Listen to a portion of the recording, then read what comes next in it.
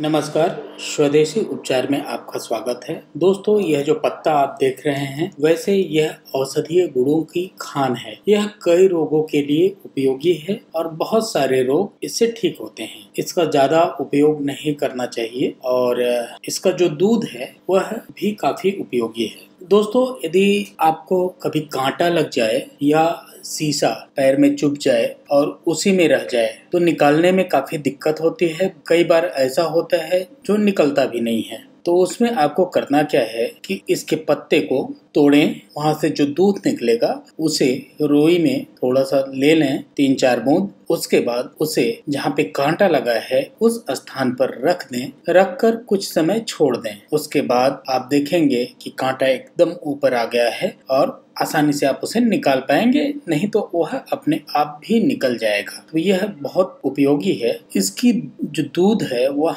आँख में न लगने पाए, इसका आपको ध्यान देना है। ऐसे ही स्वास्थ्य जानकारी के लिए चैनल को लाइक और शेयर ज़रूर करें। धन्यवाद।